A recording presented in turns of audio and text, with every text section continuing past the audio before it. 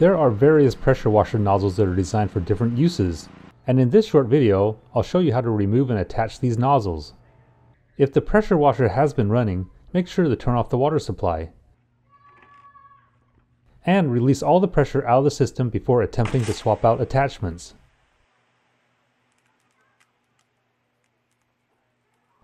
My most used attachment is the yellow one which is great for general cleaning.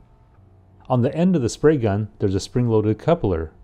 Pull this back and insert the attachment. It should click in easily, but it might need a bit of a push to get it in. To remove it, just reverse the process.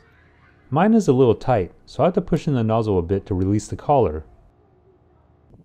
Here's one more example using my surface cleaner.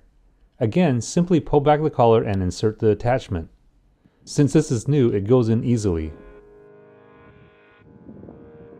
And if you're interested, I'll list the surface cleaner in the description so it's easy for you to find.